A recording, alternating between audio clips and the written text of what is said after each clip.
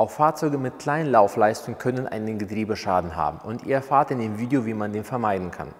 Hallo und willkommen bei der Firma Graf in Hamburg. Heute geht es um das Thema Automatikgetriebe und wir beschäftigen uns heute mit einer E-Klasse, mit einer Laufleistung von 110.000. Wichtig ist, wenn man sein Automatikgetriebe länger fahren möchte, muss man die richtige Wartung, richtige Maßnahme treffen, damit das Getriebe länger lebt. Es gibt in verschiedene Maßnahmen und die werden wir in dem Video behandeln.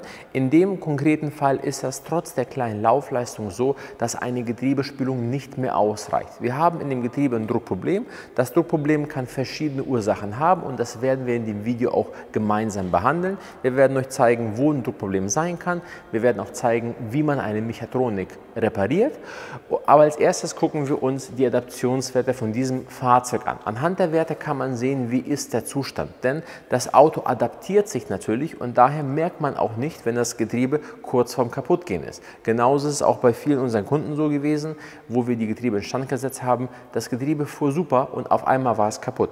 Und hier sieht man, dass die Fülldrücke und die Füllzeiten und man sieht zum Beispiel hier, die Adaptionswerte sind schon bei minus 800. Das heißt, wir haben hier ein Druckproblem, ein Druckverlust und warum das so schlimm ist und warum das zu einem Getriebeschaden führt, werden wir gleich in dem Video besprechen. Der Getriebeschaden kündigt sich nicht an. Das heißt, die Kunden, wo wir ein Getriebe instand gesetzt haben, die haben gesagt, das Getriebe hat bis zuletzt perfekt geschaltet und auf einmal war das halt kaputt.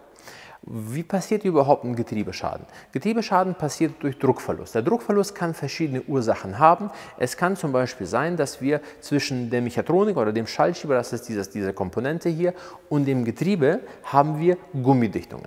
Diese Gummidichtungen können verschlissen sein. Dadurch haben wir irgendwo einen Druckverlust und ein Druckverlust äußert sich so, dass diese Lamellenkupplungen, die werden über Öldruck zusammengedrückt und dann fährt das Getriebe nach vorne. Haben wir irgendwo einen Druckverlust, dann ist die Kraft, die hier drauf wirkt, zu klein, als dass sie im Endeffekt schon zusammengedrückt werden und die schleifen. Irgendwann ist diese Beschichtung halt vorbei. Das heißt, eine Möglichkeit ist, dass diese Gummidichtungen zum Beispiel defekt sind.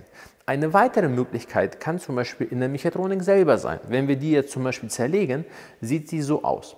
In der Mechatronik haben wir auch zum Beispiel Ventile. Diese Ventile, die haben Filter. Diese Filter setzen sich durch Lamellenabrieb zu und diesen Lamellenabrieb kann man auch bei einer Spülung nicht rausbekommen, weder aus den Filtern noch aus der Mechatronik. Ich blende euch jetzt einmal ein Teil ein, dass ihr seht, wie viel Dreck sich zum Beispiel bei einer Mechatronik angesammelt hat auf der Dichtplatte zwischen den Mechatronikhälften. Hier sieht man zum Beispiel die Ventile und hier sieht man an den Ventilen, wie viel Dreck sich hier abgelagert hat. Ne? So, oder hier kann man zum Beispiel auch sehen, wie viel Lamellenabrieb wir hier haben. Das Schwarze, was wir hier zum Beispiel sehen, das ist alles Lamellenabrieb. Wenn man die Wartung verspätet macht, dann verliert natürlich das Öl seine Schmiereigenschaften, denn dieser Lamellenabrieb von den Kupplungslamellen, der ist nicht magnetisch, der schwimmt permanent im Öl und sorgt dafür, dass die Mechatronik selber verschleißt. Denn wir haben hier solche Kolben, die bewegen sich permanent, die werden durch diese Magnetventile aktiviert und dann haben wir das Problem, das kann man hier so ein bisschen sehen, komm mal mal näher, dass zum Beispiel dieses Bauteil, ihr seht, das ist schon so ein bisschen beschädigt. Wir haben hier Kratzspuren. So, weil wir hatten hier eine schlechte Schmierwirkung. Und dann haben wir das Problem, dass die Kompression zwischen dem Gehäuse und diesen Kolben nicht mehr gewährleistet ist, wie beim Motor zum Beispiel. Habt ihr den Ölwechsel zu spät gemacht oder sehr, sehr oft zu spät gemacht, dann kann es passieren, durch diese schlechte Schmierwirkung haben wir irgendwann nicht die Kompression, die wir haben sollen. Und das kann man prüfen, dann haben wir hier einen Druckverlust. Ich werde euch einmal ganz gut zeigen, wie man das prüft und wir werden in dem Video auch so eine Mechatronik auch instand setzen. Das heißt, wir werden zeigen, wie man die repariert hier sieht man zum Beispiel die Mechatronik. Hier sieht man bestimmte Bereiche und wir prüfen jetzt zum Beispiel das Gehäuse, die Kompression zwischen Gehäuse und den Kolben. Wir sollten einen minimalen Wert von 18 haben. Wir haben hier einen defekten Bereich, das heißt, wir prüfen das einmal und ihr werdet sehen, wir haben knapp um die 10. Hier kann man das sehen, ne? bisschen sauber. So, wenn wir jetzt einen anderen Bereich prüfen, zum Beispiel den hier, ja, dann seht ihr, haben wir hier einen Wert von ungefähr 22, so wie das ungefähr sein sollte. Das heißt, wir können in so einem Fall so viel spielen, wie wir wollen. Wir können auch so viele Dichtungen tauschen, aber wenn wir hier einen Druckverlust haben, wird er früher oder später zu einem Getriebeschaden führen. Und das muss man einfach nicht machen. In manchen Fällen kann man die Mechatronik instand setzen, das werden wir euch gleich zeigen. In anderen Fällen muss man die Mechatronik austauschen.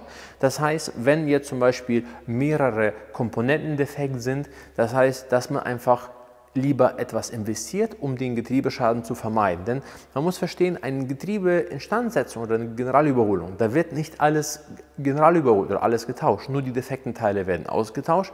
Das war's. Alle alten Lager, Buchsen bleiben alle alt. Deswegen kriegt man auch nur ein Jahr Garantie oder eine bestimmte Laufleistung.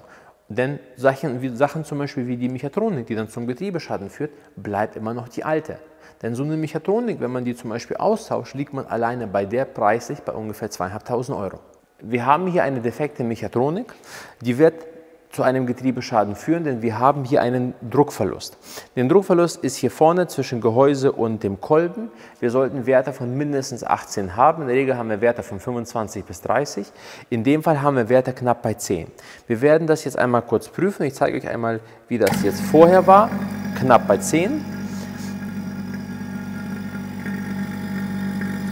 dieser Bereich hier. Wir werden eine Bohrung durchführen, das heißt, wir werden die hier in Stand setzen, wir werden es aufbohren und dann wird ein anderer Reparaturkolben eingesetzt, dann werden wir das gemeinsam nochmal prüfen. Wir können die Mechatronik hier vor Ort in Stand setzen. Wir bohren jetzt durch, ihr seht, hier haben wir den, den Bohrer und bis das komplett bis zum Ende ist, das heißt, das wird jetzt aufgeweitet, die Späne, man sieht, die fallen unten runter und dann wird ein Reparaturkolben eingebaut, der halt weiter ist. Und dann haben wir Werte wie bei einer nagelneuen Mechatronik. So, wir haben die Bohrung jetzt fertig. Wir bauen das einmal ab. Ihr werdet sehen, wir haben da die ganzen Späne. Danach wird die Mechatronikhälfte gereinigt. Hier ist der Bohrer mit den Spänen. Hier sind die Späne kann man relativ gut sehen und auch hier der aufgeweitete Bereich. Hier kann man da so ein bisschen sehen. Wir werden ihn gleich einmal reinigen und dann seht ihr, was die jetzt für Werte da vorhanden sind. Die Mechatronik ist durchgebohrt. Wir werden jetzt den Reparaturkolben einbauen. Man sieht, das ist der alte mit der Feder. Hier sieht man auch die Beschädigung bei dem Teil hier. Ne, wahrscheinlich kann man das per Video auch sehen, dass es heller ist. Das ist das Neue. Es ist mit einem Gummidämpfer. Das heißt, es ist noch etwas besser abgesichert. Und das ist der neue Kolben. Der sieht genauso aus, nur der hat im Endeffekt, der ist eigentlich deutlich dicker. Den werden wir jetzt einmal kurz einbauen. So es kommt die neue, der neue Dämpfer rein. Da muss man immer aufpassen, weil wenn man den falsch einbaut oder zu weit reinschiebt, dann kriegt man den auch nicht mehr wieder raus, weil der ist sehr, sehr dicht. Deswegen, wenn wir den jetzt zack einmal reinstecken. So, und jetzt können wir gemeinsam mal die neuen Werte prüfen. Das war der defekte Bereich. Ihr seht, wir hatten knapp 10 Jetzt haben wir über 22. Dadurch ist die Mechatronik instand gesetzt. Denn so ein Druckverlust, den wir hier haben oder in anderen Komponenten, der wird zu einem Getriebeschaden führen, denn die Lamellen schleifen aneinander.